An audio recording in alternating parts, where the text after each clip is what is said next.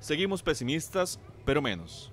En eso se resume el resultado de la encuesta de confianza de los consumidores publicada hoy por la Escuela de Economía de la Universidad de Costa Rica.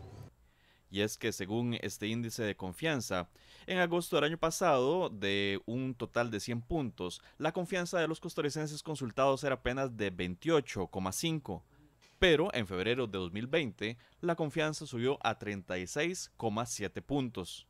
Sin embargo, los responsables de la encuesta recordaron que la medición es sobre 100, por lo que, en general, las personas consultadas siguen pesimistas en el mes de febrero, pero menos que en agosto del año pasado.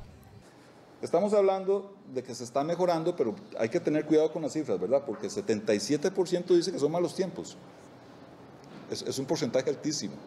Pero es que seis meses atrás todavía era más alto. Entonces, sea como sea, estamos mejorando. No estamos, digamos, viendo un, un, un ambiente favorable para la compra de bienes duraderos, pero es más favorable que hace seis meses.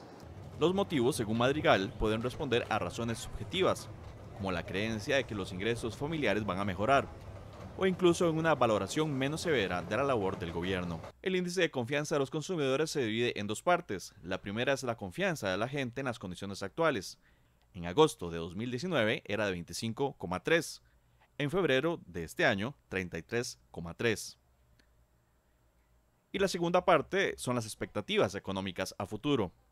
En agosto de 2019, la confianza estaba en 30,7, pero en febrero de 2020 subió a 39,0. La valoración de momento para la compra de casa, que son bienes duraderos, ¿verdad? Eh, hace seis meses, 64% decía que son malos tiempos. Perdón, actualmente 64% dice que son malos tiempos, pero hace seis meses era de 78%. Entonces esto mejoró. O sea, la, valoración del momento para la compra de casa, pese a que es negativa también, viene mejorando. Y lo mismo pasa con la compra de carro. Una no mejoría en los índices de empleo, los recientes escándalos políticos como la Unidad Presidencial de Análisis de Datos o incluso la inminente llegada del coronavirus COVID-19 podrían aumentar el porcentaje de los pesimistas, señalaron los expertos de la Universidad de Costa Rica. La encuesta de confianza de los consumidores se hizo vía celulares a 700 personas de todo el país en los primeros 15 días de febrero.